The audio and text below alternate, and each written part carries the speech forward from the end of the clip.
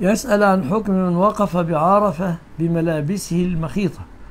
عليه أحد أشياء ثلاثة إطعام ستة مساكين أو ذبح شاة أو صيام ثلاثة أيام كل ذلك على التخيير.